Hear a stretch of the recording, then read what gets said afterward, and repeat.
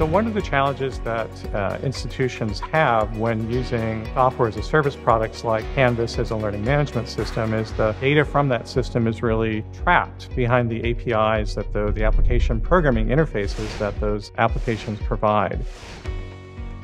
These connectors allow you to free that data inside of Amazon to where you need it, whether it be an analytics area, a storage area, an archive area. This connector helps you do that efficiently because it never leaves the Amazon environment. The Canvas connector provides event data, user data, course data, and assignment data directly from the LMS. That data can then be used to look at patterns uh, of student behavior. You now have statistical significance in behaviors in that engagement and learning management system, and you can start seeing behaviors that positively influence learning and then perhaps behaviors that might indicate a student is struggling. So, really, the learning management system data and being able to do the analytics can help your student success program and help them progress more efficiently and quicker and successfully.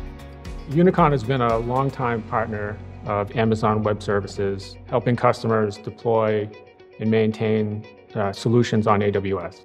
The Canvas Connector project, though, was the first collaboration between Unicon and Amazon Web Services to build a new product to serve the market and really fill a need that many of our customers have had uh, over the last few years to be able to get this data from Canvas into their data lake or data warehouse. You know, for institutions, whether they have a small IT staff or large IT staff, the AppFlow connector makes it very easy to connect to the Canvas API and automatically start uh, extracting that data and storing it in your AWS environment.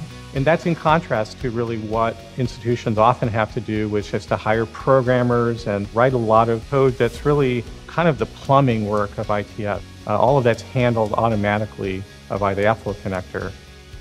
The Canvas connector will save an institution time and money because they're not having to invest development resources into writing software to make calls to the Canvas API or process Canvas events. All of that is packaged within the Canvas connector itself.